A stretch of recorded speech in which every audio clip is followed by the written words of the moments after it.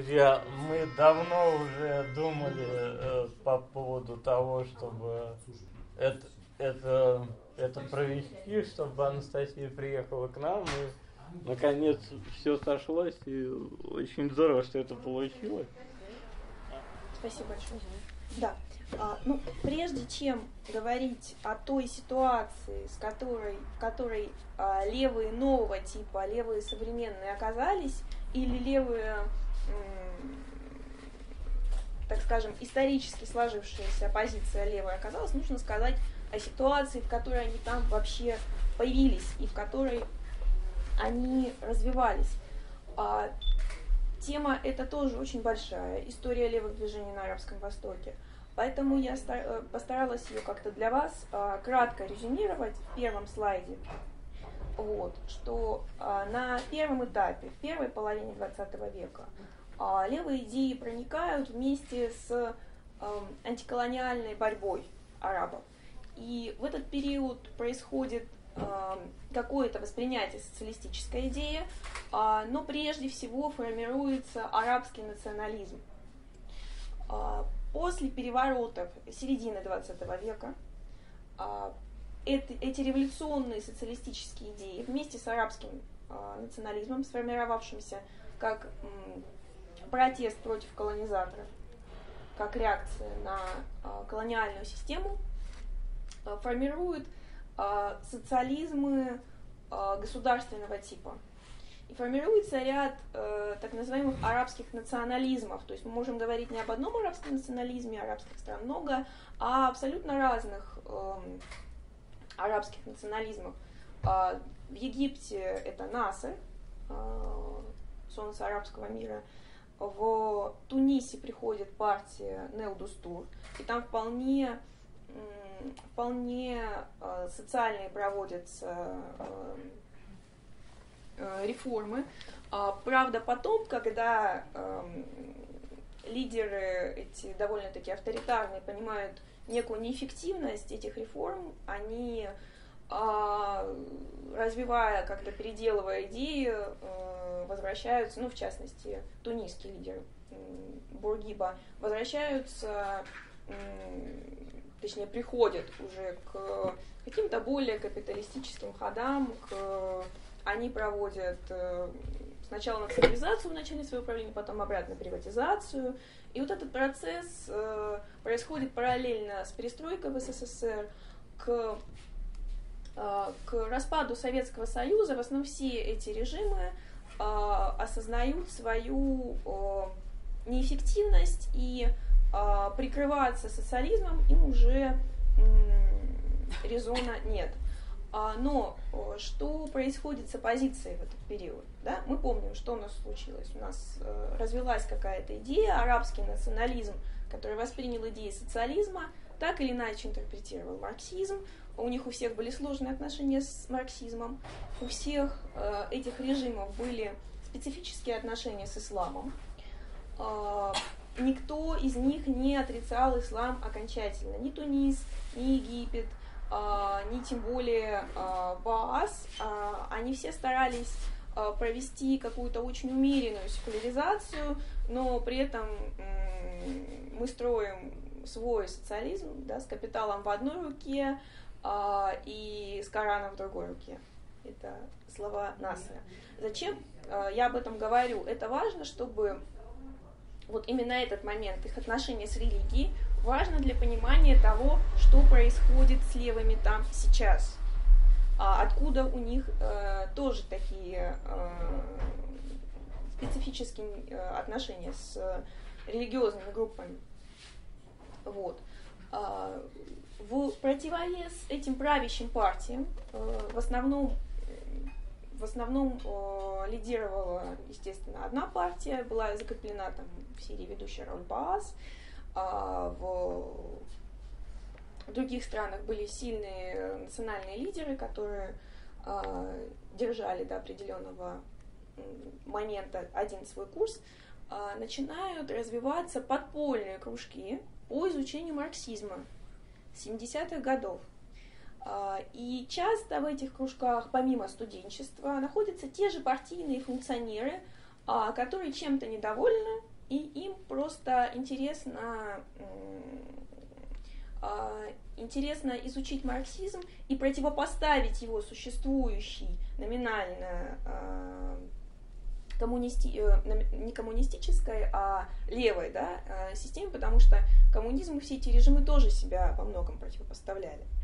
Вот. Эм, э, прежде всего из-за отторжения коммунизмом религии. То есть никто из арабских лидеров не решался на полное подавление религии всегда очень с этой темой были осторожны. И э, арабские левые движения не атеистические чаще всего. То есть э, никто не включает в свою программу э, атеизм. Борются с чем угодно, с внешним вмешательством, с э, капитализмом, с э, могут бороться с экстремистскими группами, но не с исламом как таковым. Вот. Нужно это помнить как специфику региона, как и э, неотторгаемый национализм. Э, арабский национализм при представлении э, о единой арабской нации или представление о, допустим, египетской арабской нации – порождает сложную структуру идентичности у арабов. То есть я в первую очередь египтянин, а, потом араб, потом мусульманин. Но то, что я египтянин, важнее, чем то, что я араб. Вот. Можно а, сразу вопрос? Да. А, это вот э, как бы, ну так назовем, э, левая идеология власти, да? Как она относилась к национальным меньшинствам, в частности, к коптам в Египте и тому подобным людям? А, в, в Египте у коптов вообще довольно а, интересное положение, но с ними находили какой-то баланс. Когда это был э, Насер, все было довольно неплохо, потому что а, левая повестка, она была э, она была э, националистическая, но националистическая не, не этнически. Вот на примере Баас, допустим, сирийская нация – это вся сирийская, это все нации, проживающие на территории Сирии и говорящие на, э, понимающие друг язык друг друга. То есть говорящие на арабском языке или, может быть, даже на каких-то других языках. Это э, идеология Баас э, Мишеля Фляк. А, он постарался максимально включить всех сирийцев в свою идеологию. И он на самом деле очень сильно ориентировался на э, исторический опыт эмиядов. Вот такая вот э, интересная ситуация. То есть они притягивали к э, э, советскому опыту, к марксистским э, теориям, а, какие-то свои исторические ситуации, а, свою местную религиозную и национальную специфику и старались из этого сварить вот такой вот э, компот, который поддерживал бы до определенного времени баланс. Но понятно, что противоречия э, все равно выходили наружу со временем. Такова, так скажем, ретро ретроспектива э, все, всего этого арабского движения, э, э, левого движения в арабских э, странах. И к концу 20, 20 века, когда распадается союз, в верхах понимают бессмысленность этих идей, всплывают потихонечку эти самые движения, выросшие на марксистских кружках. Кроме того, к марксистским кружкам 80-х добавляются троцкистские кружки – и вот это вот а, самый интересный момент, потому что если марксистские кружки имеют больше отношения к исторической оппозиции, если там больше а, партийных функционеров, если в дальнейшем они больше идут на соглашательство с властью, то троцкистские, э, троцкистские кружки уже выращивают тех, кто потом будет придерживаться теории перманентной революции, уже выращивая тех, кто а, пойдет на полновесную такую а, конфронтацию, они просто изначально настолько маргинальны, что им а, у них нет там бывших партийных функционеров, насколько я могу судить, и им а, комфортно вот этой позиции конфронтации, они не смирились ни с одним пока что из режимов, ни с одним из предложений.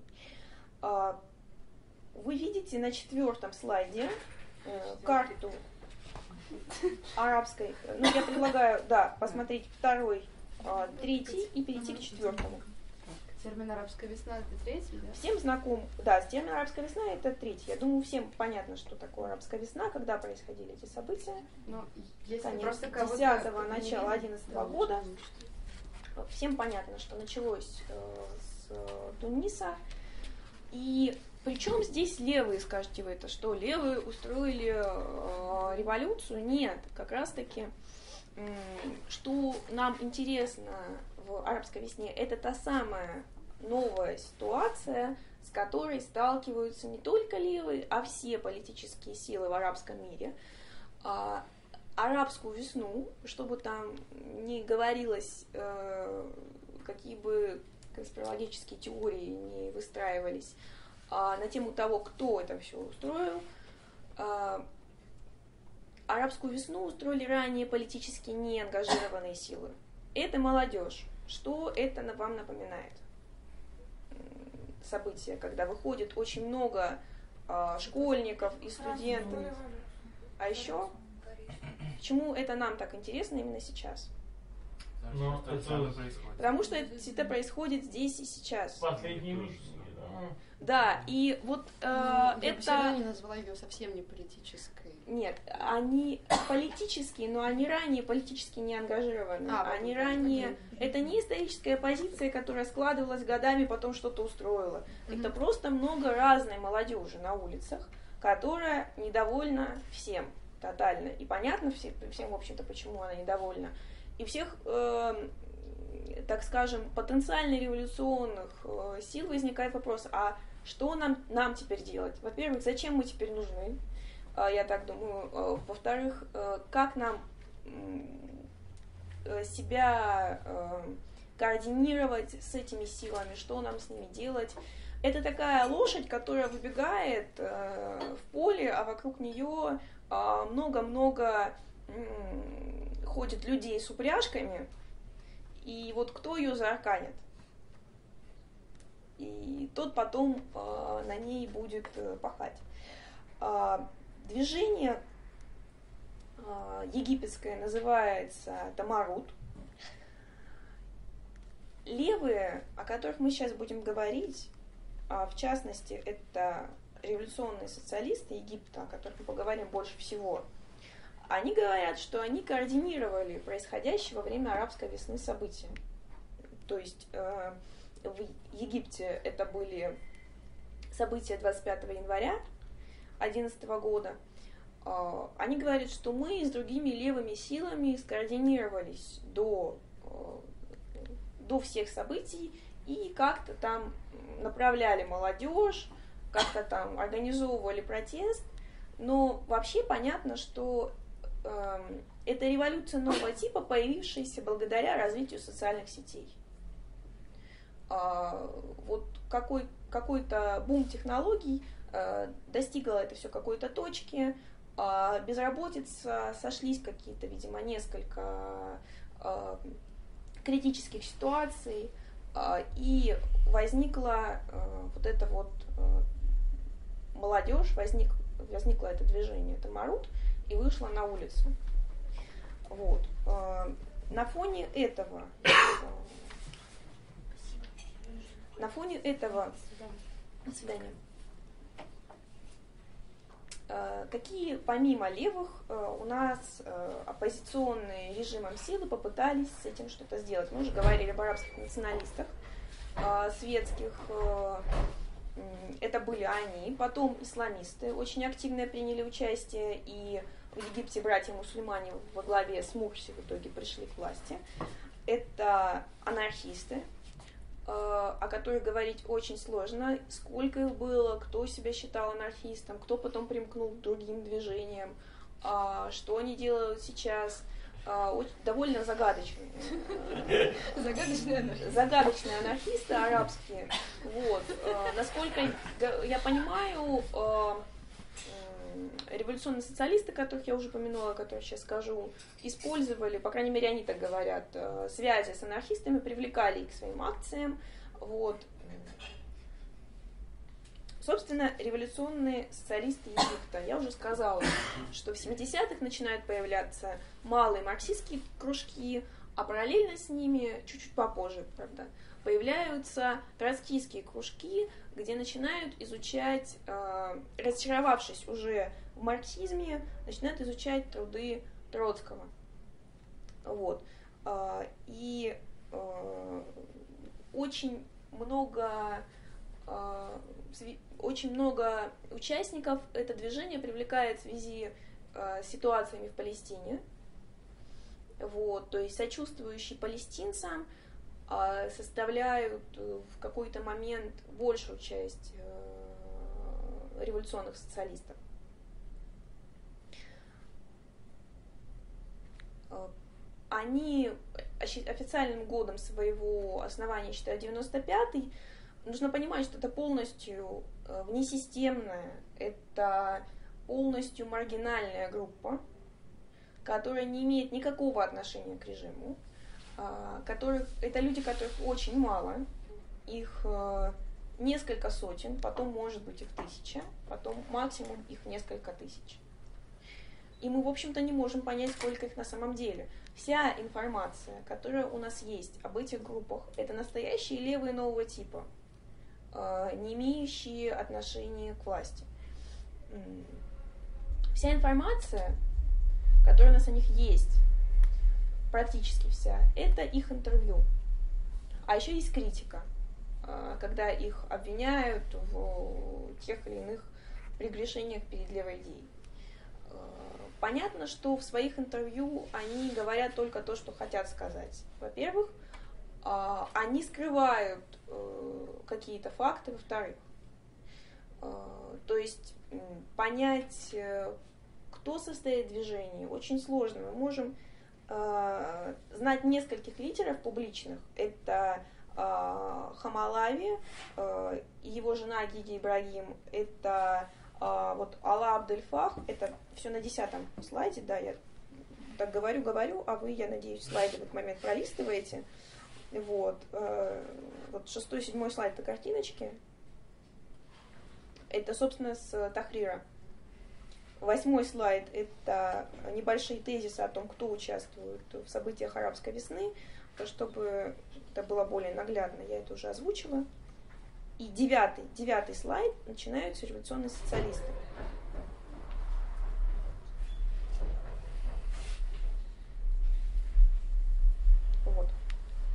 Алла Абдельфах, он э, попал в тюрьму в 15 году.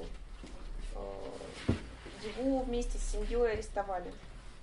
То есть уже режим Сиси его арестовал. И основное количество интервью принадлежит социологу и журналисту Самиху Нагибу. То есть, понятно, э, лидеры движения – это все очень активные журналисты, э, которые себя э, так скажем, подставляют под расстрел, потому что э, они в очень опасных позициях находятся. Вот э, Хасам Аль-Хамалави, он э, бойкотировал проект Конституции, когда он принимался в 2013 году в Египте, и за это тоже попал в тюрьму. Дальнейшую судьбу, судьбу Хамалави, э, если честно, не помню, по-моему, по крайней мере, Э, Фатх точно находится в заключении. Вот. А, короткий вопрос. Да. А в тех странах, о которых э, вы говорите, там во всех действует смертная казнь или нет? О, в зависимости от режима. Угу. Ну, то есть мы сейчас Я... говорим о современности. Да, мы говорим о современности. Э, Я сейчас не знаю, где у них э, введена смертная казнь, где нет. Там настолько э, тяжелая ситуация, настолько часто меняются события, что... Э, но там, там же действует светское законодательство, это не Саудовская Аравия, где действуют, э, действуют, шари, действуют шариатские нормы. Вот. Учитывая, что у власти э, военные, я думаю, для того, чтобы избавиться от человека, не требуется приговаривать его к смертной казни. И есть такая цитата очень интересная Хасама Хамалави э, «Sometimes with the Islamists, never with the state». Мы помним, что э, арабские левые не э, отвергали э, религию. Да? И э, хотя революционные социалисты считают себя светскими, на определенных этапах они э, считали не только возможным, но и полезным своих акциях, э, в своих э, э, взглядах поддерживать, допустим, братьев-мусульман или других исламистов, участвовать как-то вместе с ними в протестах против власти Мубарака и блокироваться тем или иным образом с исламистами. А, поэтому они подвергались э, многочисленным обвинениям. Можно встретить статьи, которые активно печатал э, social worker, socialist, socialist worker, а, такое очень хорошее э, левое издание, а, где как раз-таки много-много можно найти интервью с этими революционными социалистами. Их очень активно обвиняли в сотрудничестве с властью Мурси, выдергивая из э, интервью вот того самого, самого Самиха Нагиба э, фразу о том, что приход Мурси к власти – это величайшее демократическое достижение. И мы все задаемся вопросом, как же, сколько всего сразу они и sometimes with the Islamists, они поддерживали их, с ними блокировались, они считают, что это величайшее достижение э, демократическое для египетского народа. Наверное, они действительно э, только прикидываются троцкистами, они только прикидываются революционерами, а вся их задача состояла в том, чтобы привести к власти Мурси. Э, но если перейти к тому самому интервью Э, в котором это говорит э, Самих Нагиб, и дочитать его до конца, а не выдернуть кусок, а там можно увидеть, что он говорит, а, братья-мусульмане, которые сейчас пришли к власти, все-таки опирались на рабочий класс. Поэтому они не смогут сделать э, режим полностью диктаторским. Они не смогут прекратить полностью революционный процесс. Поэтому это для нас хорошо. Не потому, что они хороши сами по себе, а потому что э, те классы, на которые они опирались, приходя к власти, э, это те классы, на которые опираемся мы. И э, им придется считаться. Они в таком положении сейчас находятся, что им придется э, с кем-то считаться. Но, насколько мы знаем, э, как да, в дальнейшем разворачивались события, э, Мурси ни с кем не посчитался, но и у власти долго не пробовал. Э, видимо, революционные социалисты рассчитывали, что он будет несколько умнее, чем он оказался. И к власти пришли в итоге военные в 13 году. Вот. Когда революционные социалисты поняли, что произошло, они стали очень активно не то что отпираться от своих прежних слов, а просто, видимо, их забыли и писали, мы никогда не поддерживали братьев-мусульман. А, но, с другой стороны, там были такие фразы, как «у нас упала пелена с глаз». Ну, немножечко на эмоциях э, забыли, о чем говорили, можно может так представить. Вот. Ну, в общем, если э, резюмировать, э, мне из всей ситуации стало достаточно понятно из, из того, как она дальше разворачивалась, что дальше делали революционные социалисты, что обвинения э, были очень красивыми, очень хорошо выстроенными в том, что они поддерживали э, Мурси, и вся их задача была в том, чтобы привести его к власти, но ложными. Э, просто э, из логики событий, которые вот, э, происходят дальше, их обвиняли в пособничестве военным. Вот, да, я здесь указываю в презентации то, о чем уже говорила, что один из основателей движения был арестован. Он бойкотировал проект Конституции военных, и вообще их очень прижали, как становится понятно, из а, прекратившейся активности из э, уменьшения количества интервью, э, какого-то участия революционных социалистов, видимо, остается все меньше и меньше сейчас. Вот к семнадцатому году э, практически никаких упоминаний мы не встречаем. Но я думаю, что если кто-то из лидеров движения переживет эти события, возможно, они смогут что-то сделать. Вернемся к одиннадцатому пункту. А, нужно понимать, что это не единственные троцкисты на Ближнем Востоке. Это просто очень показательные э, ребята. Это люди, о которых мы много знаем э, относительно. Э, это э, с очень характерной для них э, программой люди. И э, очень таким ярким участием в событиях. А, да, опора на рабочий класс.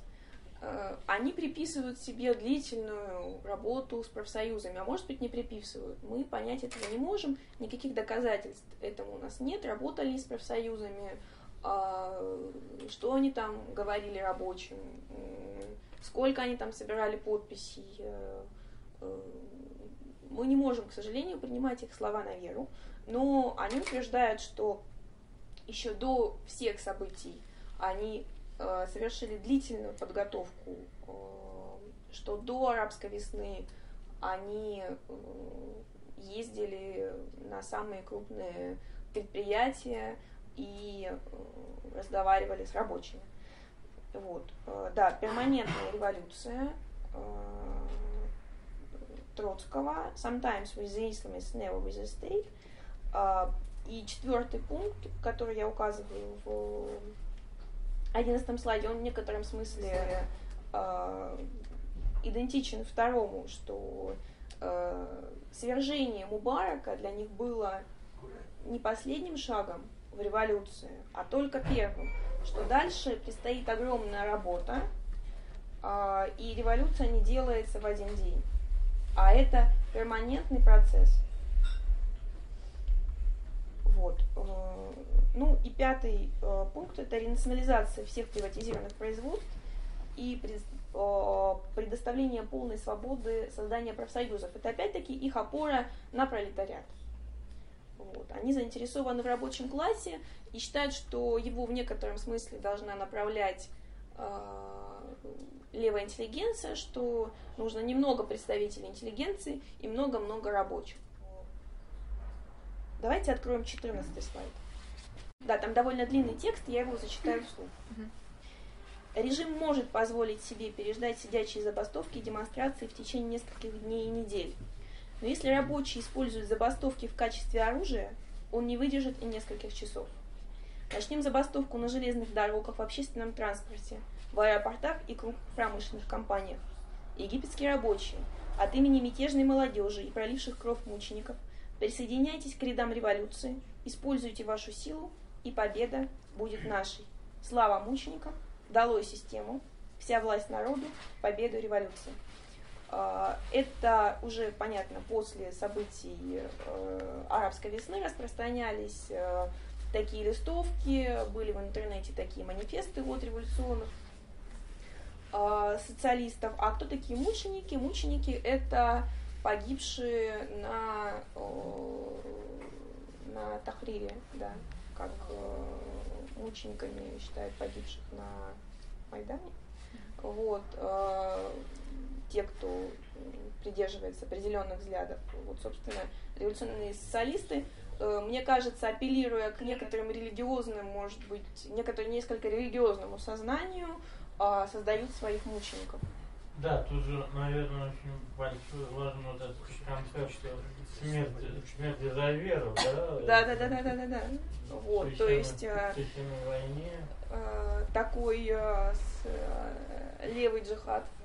Да. 15 слайд, э, если вы откроете, увидите а, скрин с ресурса Пигипедии. Я думаю, многим интересно будет его загуглить, а многие знают, что это такое. Э, Там выкладывались э, фотографии тех, кто привлек... э, силовиков, которые привлекались к пыткам диссидентов. Это во многих э, странах делалось.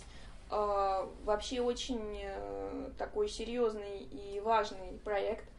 Э, Как они объясняли это, мы не хотим видеть их там нашими отцами, нашими соседями, мы не хотим видеть их на улице, мы хотим, чтобы все знали этих людей в лицо, чтобы они не могли вести нормальную жизнь в социуме, как раньше, чтобы они не могли спокойно заходить в магазин, когда все, видя его, знают, что это палач. Э, Этот ресурс работает с 2008 года. То есть, э, конечно, понятно, что не ведущей была роль революционных социалистов и других левых в том, чтобы э, начать эту начать э, эту революцию, э, арабскую весну. Не возглавляли они там Арут молодежное движение, но какую-то работу они все-таки проводили. И э, вполне не совсем, наверное, пустые эти слова. Тогда переходим к сирийцам. А, Аналог э, египетского тамаруда там назывался хирака а, от арабского глагола харака двигаться.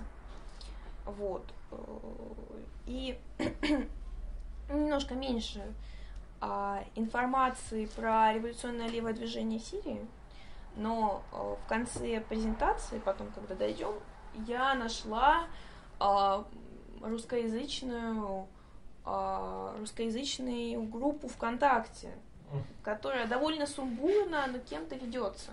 Я, кстати, не посмотрела, кто Понятно. там. Я нашла буквально недавно. Вот. э, Но они выкладывают какие-то очень обширные отчетности с протестов, там с плакатами. Они выкладывают какие-то свои материалы, то есть э, там можно еще очень много про них в дальнейшем будет узнать, но я на них наткнулась вот только что. А они это, это кто? А, Это рев- э, революционное левое движение Сирии. Них, кстати, э, пос- нет, оно не русскоязычное. Группа ВКонтакте э, русскоязычная.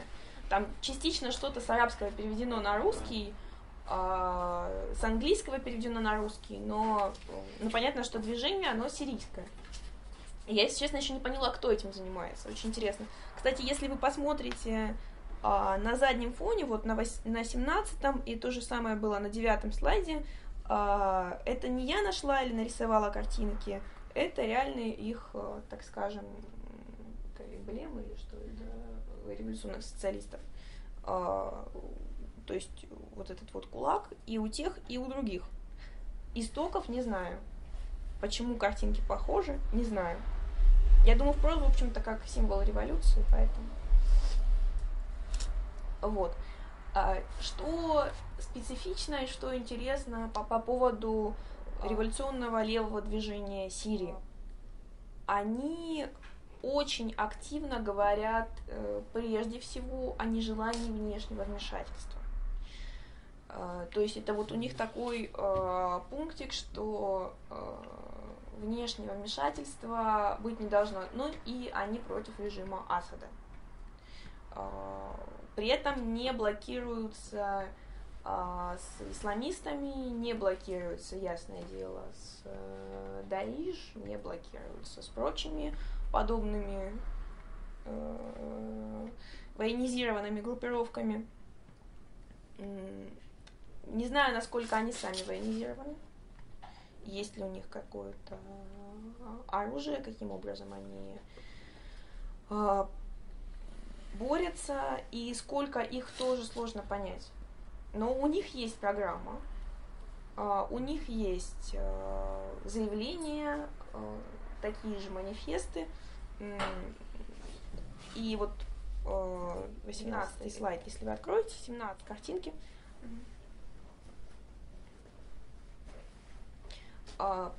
Само, с начала революции РЛД, РЛДС приняла принципиальную позицию против любого иностранного вмешательства, в то время как консервативные и либеральные слои оппозиции, особенно Сирийский национальный совет, содействуют ему.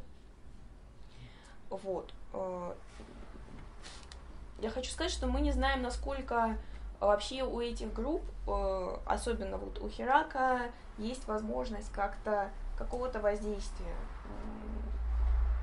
на общую ситуацию. А, но то, что они есть, уже, уже как-то показательно. Вот. Они также опираются на э, рабочий класс, они хотят пропорционального представительства, э, они хотят э, окончания всех военных конфликтов на территории Сирии. Ну, это немножечко э, утопичное желание, потому что э, с чего конфликты закончатся, когда такие мощные силы вмешиваются в это во всем. А, и ну, немножечко... Там же уже такая точка международ... международного притяжения.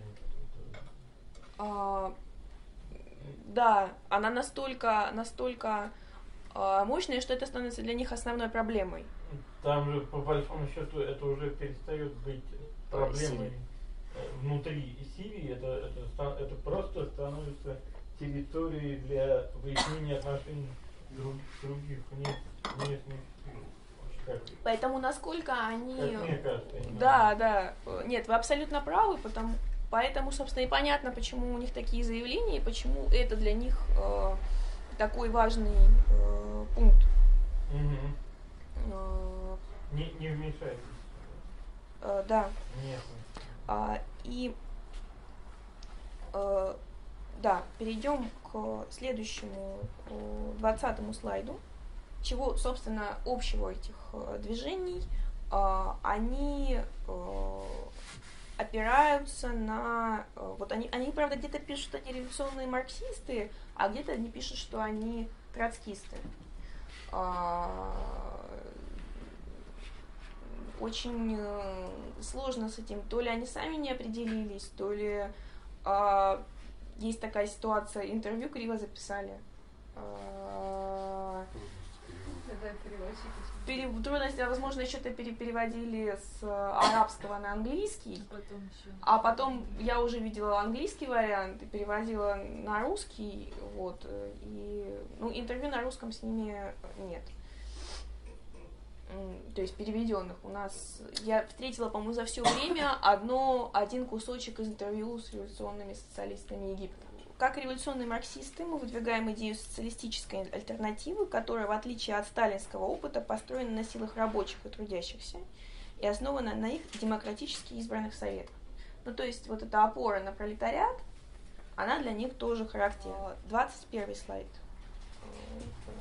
Вот. И это очень э, большой вопрос э, о том, что вообще тогда делает историческая, исторически сложившаяся э, оппозиция, как ей себя вести в новых условиях, потому что вся новая э, оппозиция, она себя от нее тщательно э, отторгает, видимо, настолько себя э, историческая оппозиция дискредитировала своим, своей постоянной попыткой э, усидеть на двух стульях, и получить какие-то выгоды, что а, новые появляющиеся силы уже вообще никаких дел с ними иметь не хотят.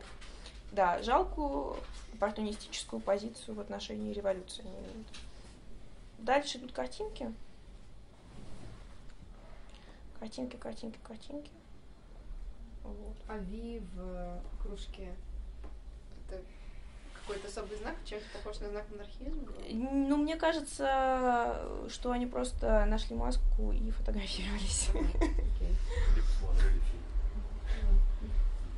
Да, скорее. там есть Он у них, довольно популярен, видимо. А. Но это же тоже молодежь, она Ну да.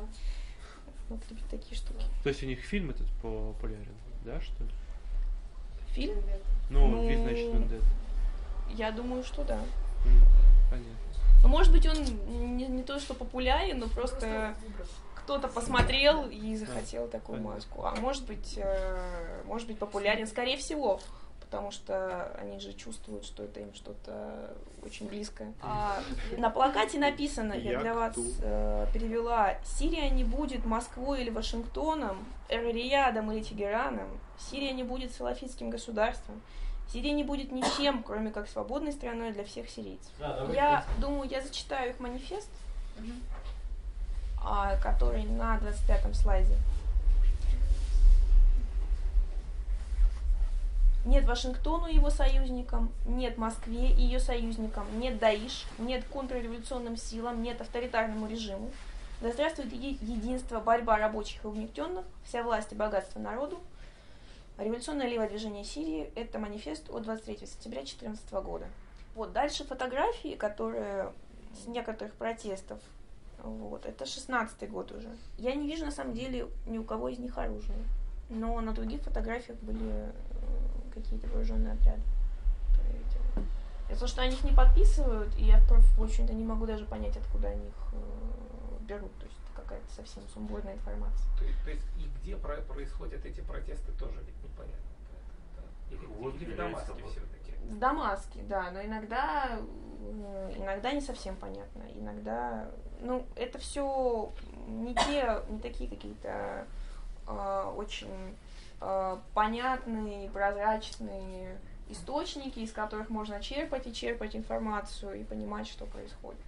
А, на последнем слайде я разместила то, что я совсем вот буквально перед лекцией нашла. Это материал об, основа- об основании организационной ячейки и а, их паблик ВКонтакте, который периодически обновляется, довольно, я уже сказала, сумбурно ведется, но все-таки представляет значительный интерес. Я думаю, интересно за ним наблюдать, посмотреть. э, А мо- можно еще спросить, они кто Да. в основном? Они студенты, интеллигенты, рабочие?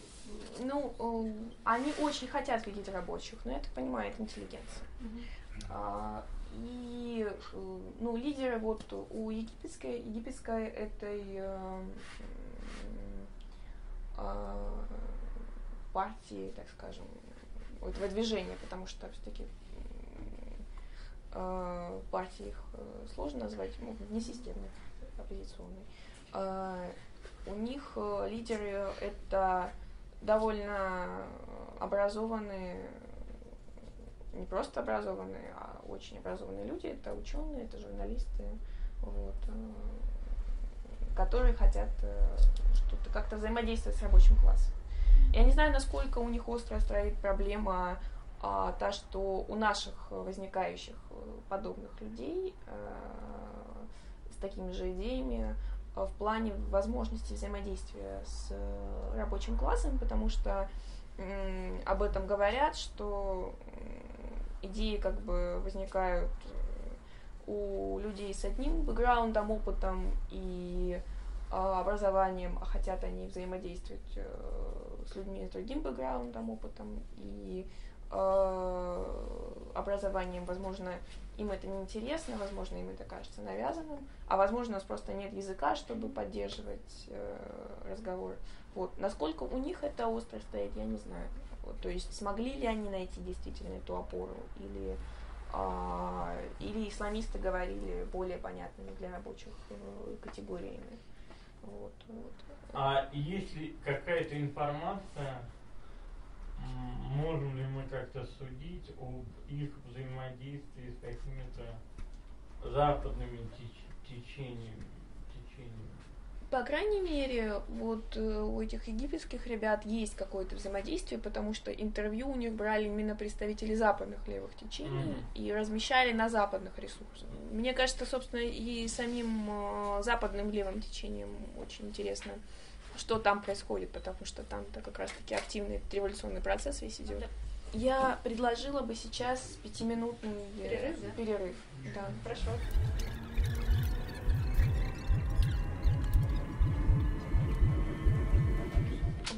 Что по поводу протестов, э, мы, не очень а, широко освещали именно арабскую весну. Ну, я думаю, э, по поводу нее очень много всего сказано в СМИ, и материалов можно найти достаточно. А, Но чем отличались э, страны того типа, из которых э, э, как, э, того типа, что Саудовская Аравия, то есть страна, из которой, собственно, приговоренный к смерти за вероотступничество э, поэт Ашраф Фаяд, А, то есть страны Персидского залива. В период арабской весны там практически а, не было выступлений, особенно в богатых, с очень большим ВВП, с очень высокой лояльностью власти у населения странах. Но э, выступления произошли в Бахрейне. Почему именно Бахрейн? Возможно, вы знаете, что там власть принадлежит суннитскому меньшинству, а жемчужную революцию 2011 года, а, ну, это революция на их там пл- площади жемчужной, а, аналог Тахрира, а, ее произвело шиитское большинство, потому что там реально 15% суннитов, э, все остальные в основном шииты, но при этом э, ш- м, сунниты это привилегированное меньшинство, то есть суннитские семьи находятся на э, каких-то эм, источниках э, капитала, они у власти, а, они контролируют эм, всех остальных, и очень большой разрыв а, в уровне жизни между ними и представителями других э, классов, которые вот еще становятся религиозным не меньшинством, но, так скажем, угнетаемое большинство.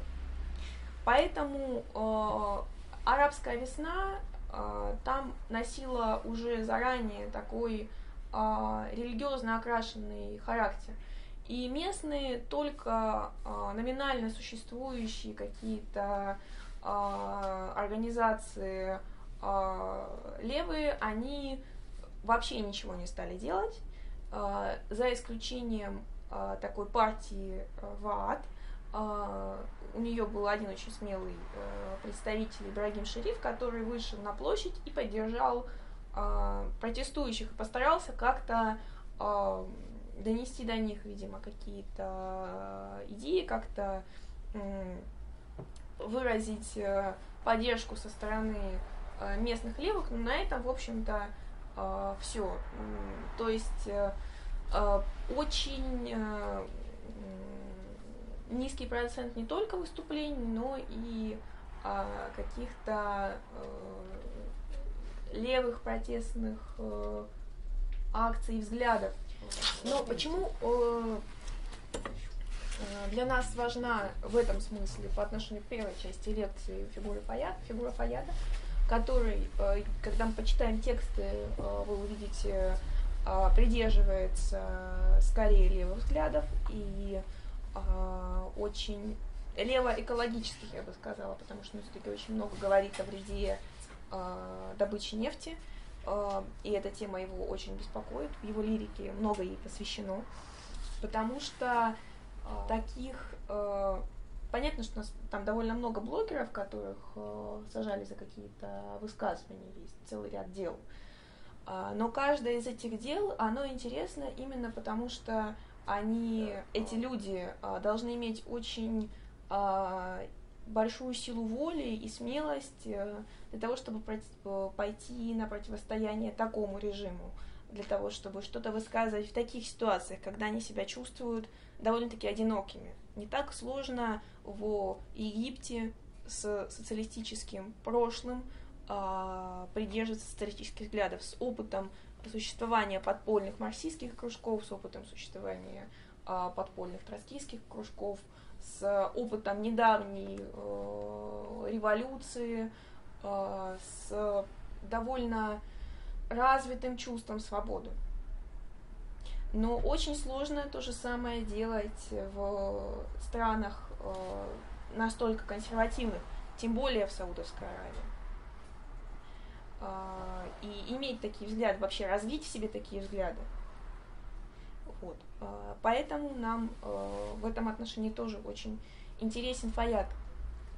Э, интересно не столько его лирика, я не хочу никак ее какие-то субъективные ей давать оценки, но что для нас встает вообще на первое место, да, это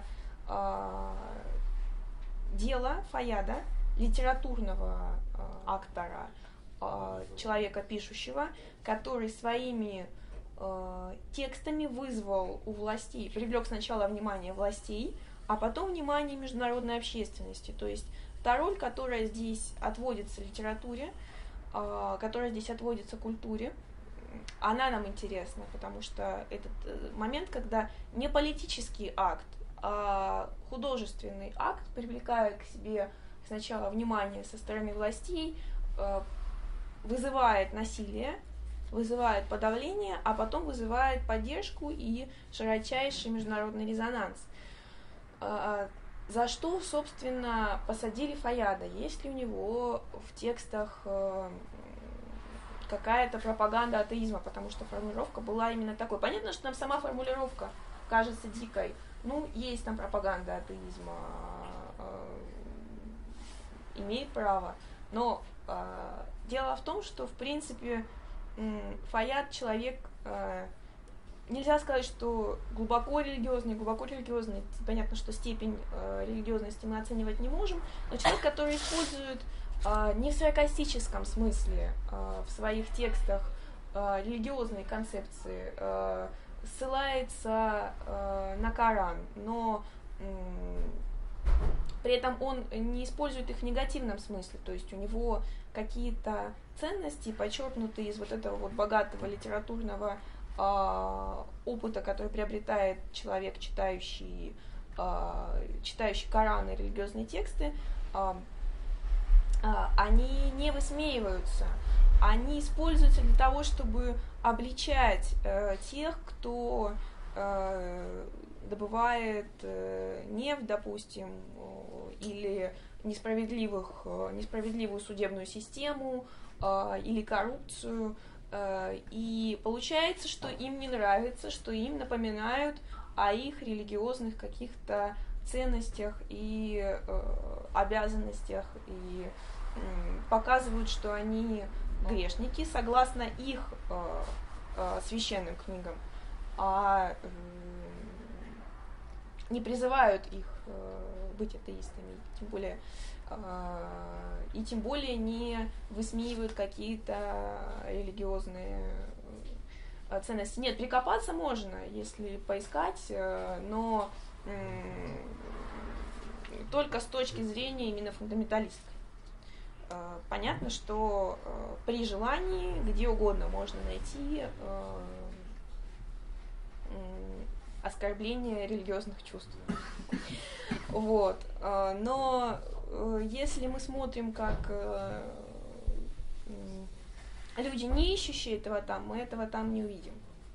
Мы увидим, что недоволен э, автор прежде всего а, существующей социальной ситуацией. И порой напомнить людям, которым он недоволен, о, о том, что надо бы что-то менять, он пытается именно с помощью их э, э, понятных, казалось бы, им э, религиозных концепций. Вот. Вернемся к тому, за что осудили Фаяда. Говор, говорят, что, то есть есть информация, что, собственно, сначала он с кем-то подрался. А тот, с кем он подрался, поспорил, подрался имел влиятельных родственников. Поэтому апелляции, которые Фаяд подал уже попав в заключение, привели не к э, освобождению, а к ужесточению наказания. Вот. Сначала ему вменили те самые 800 плетей, потом смертную казнь, а потом после широчайшего международного резонанса,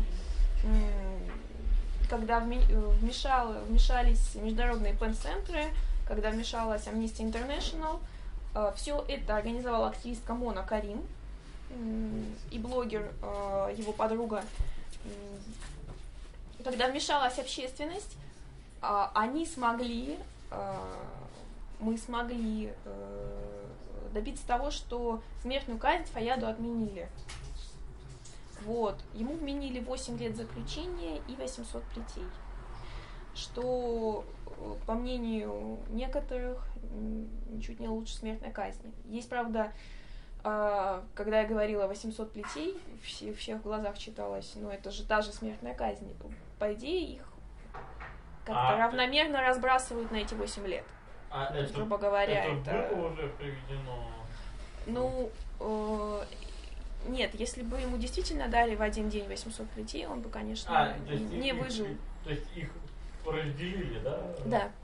Ну, то есть теперь в их интересах, чтобы он через эти 8 лет вышел живым, но какой-то ак- активизм, какие-то действия по поводу Фаеда продолжаются, и он в заключении, мы еще не перевели эти тексты, а, написал новые стихи, у него вышла подборка. Я не знаю, какими путями она оказалась у международной общественности.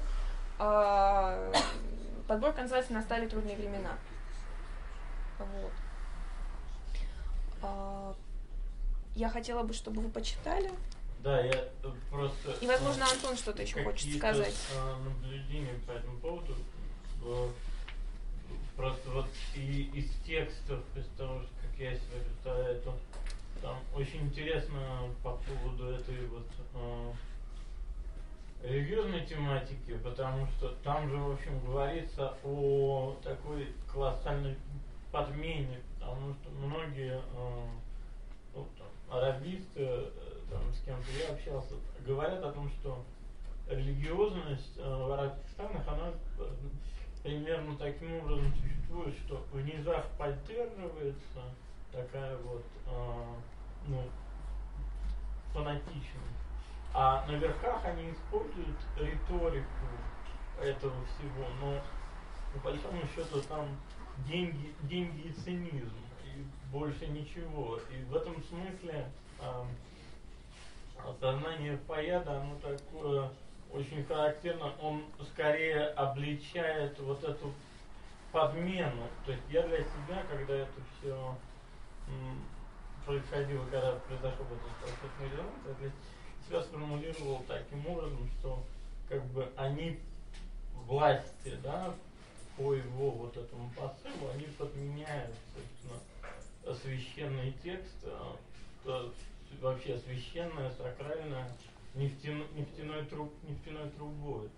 Потому что нефть, да, э, Настя говорила о этом экологическом измерении нефти, да, но мы, мы все, живя в России, знаем, что, что такое нефть, что такое цена на нефть, поэтому здесь как бы нефть как, как, как фетиш такой экономический, да, политический фетиш обогащения. И еще по поводу вот этой смеси религиозности и какой-то революционной оппозиционности, мне здесь э, на память приходит как раз к слову о каком-то взаимодействии и каких-то параллелях европейских, мне на память приходит, естественно, Пазолини, у которого, если смотреть, ну, и кино, понятно, но и его поэтические тексты, там очень интересно существует конфликтно, даже трагически, а, его идентичность как левого,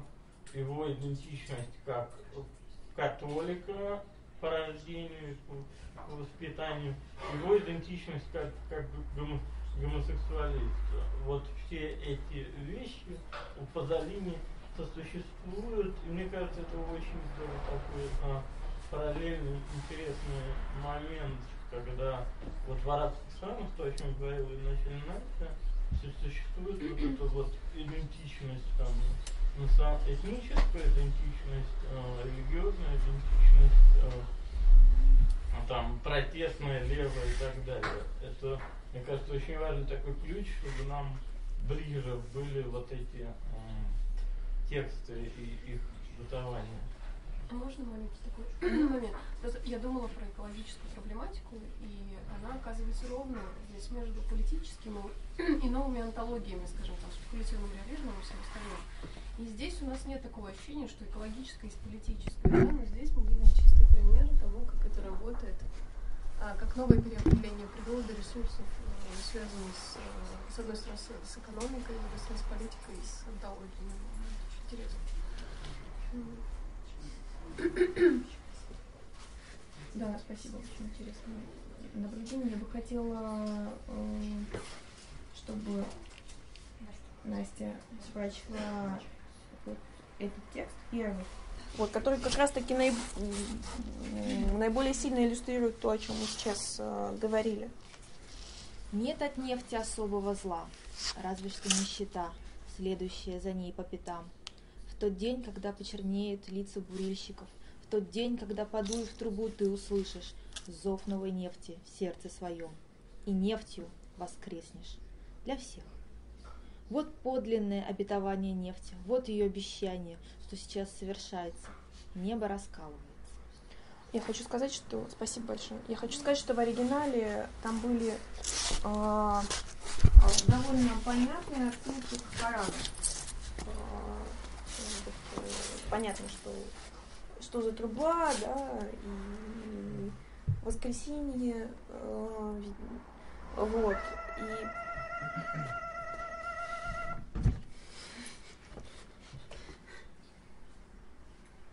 вот, и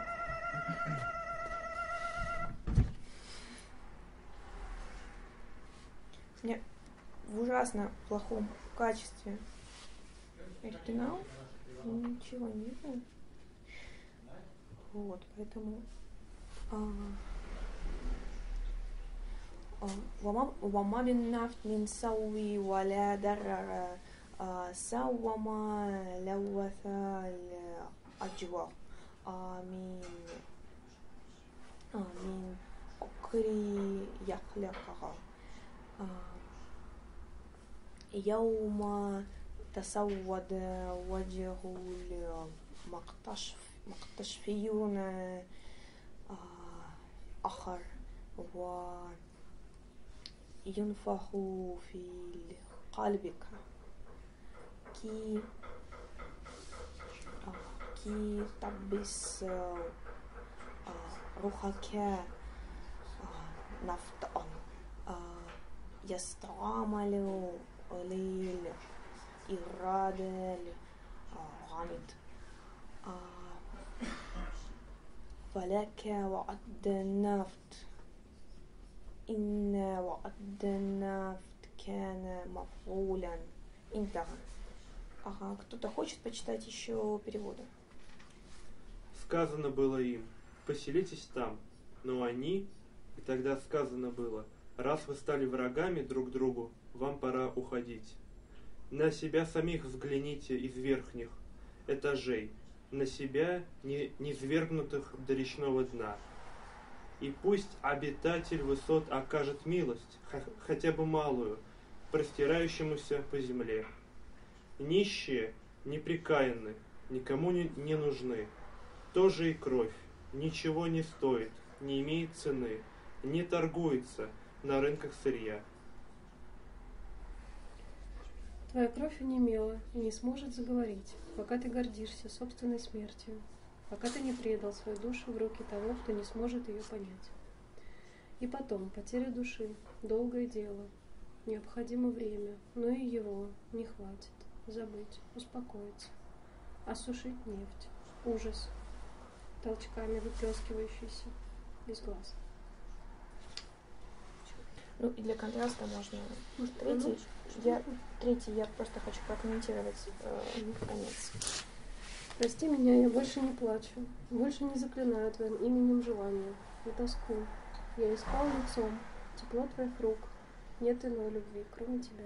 Никто не любит тебя сильнее. Ну, Я хочу сказать, что там а, нет иной любви, кроме тебя. Мгм. Это, просто очень суфийская какая-то Мгм. вещь, мне кажется. И нет иной любви, кроме тебя, была формулировки именно а, э, ля-ля и ля-ля, а, как нет Бога, кроме Бога. Вот кроме вот этих отсылок э, к Корану, есть, есть в этих текстах э, какие-то вещи, э, э, ну, какие-то оттенки значений, которые трудно перевести или, или вообще нельзя пере- перевести. А, ну, они довольно простые в этом смысле. Может быть, мы просто не видим чего-то, но были вот Ну, были тексты, которые мы перевели, но до конца не поняли некоторые строки. Вот, может быть, э, просто потому что это современное искусство, да, не всегда можно расшифровать э, посыл, потому что это действительно совре- с- в, отли- Ну, есть- в отличие от многих арабских авторов, которые продолжают традицию э, там, Фердауси и так далее, а, это действительно что-то ближе к западному образцу современного искусства. И есть- поэтому, да, это верлибры к тому же. То есть, то, то есть это вот такой сознательный момент, он порывает с такой вот традиционной, да, арабской. Мне кажется, что это э, э, процесс создания искусства нового типа, да, современного, а, с уходом от традиционных форм, но без разрыва с, э, с традиционным сознанием окончательно. То есть все равно Нет, а, я, да, я образность, я, да. говорю именно о языке, да.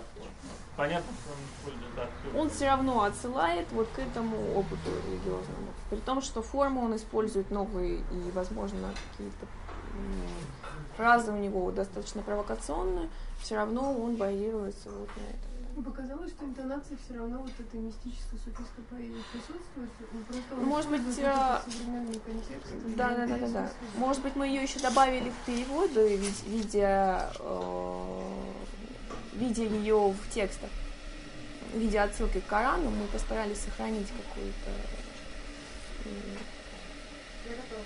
Отлично.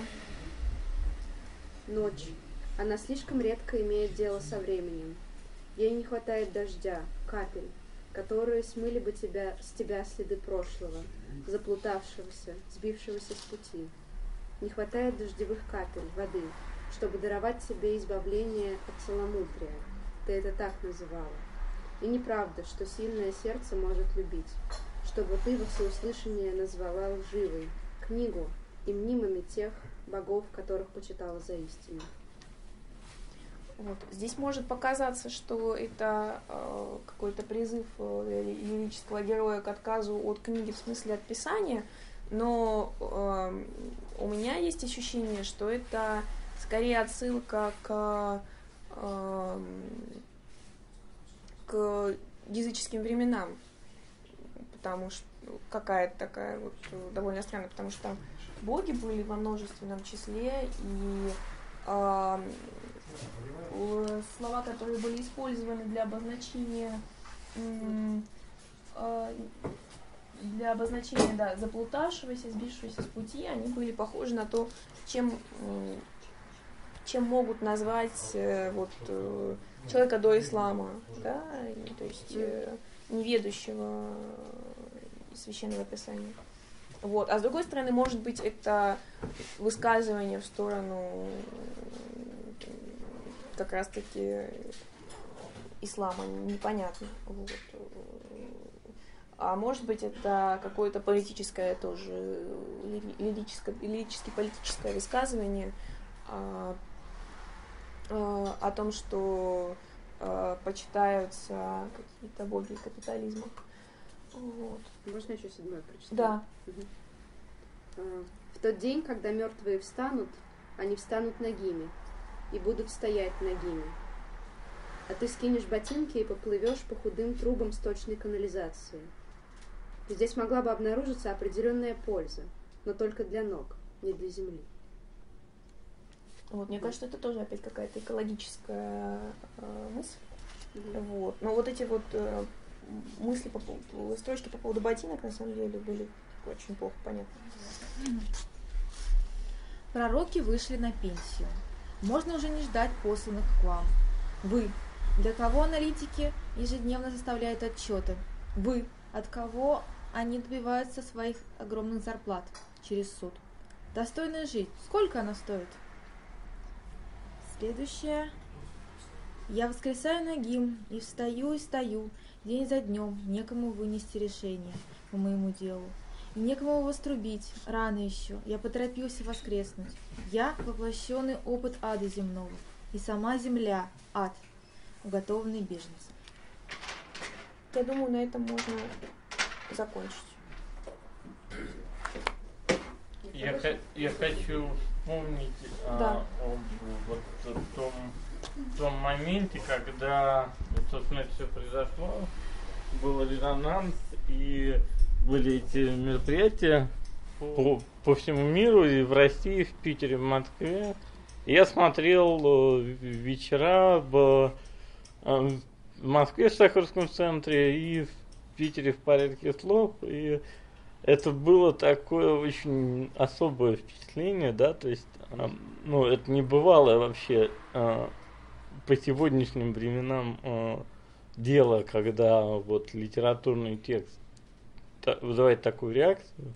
У нас мы знаем, ну, да, подобные случаи скорее связаны с современным искусством, там, с перформансами, которые которые осуждают, вот, а с, те- с текстами, пожалуй, нет. Очень часто, не всегда, но часто, скажу, а, от э, столичных э, мероприятий иногда есть такое впечатление тусовочности, то есть вот люди пришли, вот, почитали стихи, а потом, ну, кто-то будет обсуждать стихи, а кто-то пойдет на, фу- на, форш, на форшет, да? Вот сам масштаб событий и с учетом э, ситуации вокруг нефти, что нефть это такой особый фетиш и для, и для нашей да, экономики. Вот с учетом всего этого у людей было ощущение, что вот э, ну как соединение произошло с одной стороны э, осознание трагич, трагичности и необходимости выразить солидарность э, с тем, что происходит, да, с чело- человеком, причастным к слову, так же, как и ты. С другой стороны, здесь такое вот э, состояние, человек приходит в себя и осознает, что слово может значить не только внутри вот э, поэтических контекстов, не, то- не только с точки зрения поэтического языка, но оно до сих пор может э, вызывать какие-то еще и, и политические резонансы. Это в том числе, да, для нас это, это не только повод ужаснуться, как же происходит в восточных странах, и повод задуматься о них, но это и повод задуматься о том, что происходит здесь, здесь и сейчас. Это мероприятие, которое прошло, вот оно меня заставило об этом обо всем задуматься, и плюс, кон- конечно же, это очень здорово, что был вот этот вот резонанс, была именно солидарность э, людей по слову, что мы не просто сидим внутри своих э, тусовок, а что мы часть вот этого большого, даже уже не европейского, не западного, а общ- общего контекста. Мы выходим за рамки своих, своих- своих границ. То есть вопрос, как, а как идти дальше, как с этим работать, это уже другой вопрос. Да? Здесь- вот. И большое спасибо Анастасии и Станиславу, что они нам дают возможность э, прикоснуться к этому э, непосредственно, да, к этим текстам. Это не просто такая вот э, штука, аттракцион, э, чтобы, чтобы не скучно было, а это тоже этот голос, он, он конечно, голос Фаяда, но он, он и, на- и наш голос, да, это то, то, что так или иначе соотносимо с людьми, которые мыслят себя в культу- культуре, культуре сегодня. Мне кажется, это очень, очень важно. Спасибо, Настя. Вот. И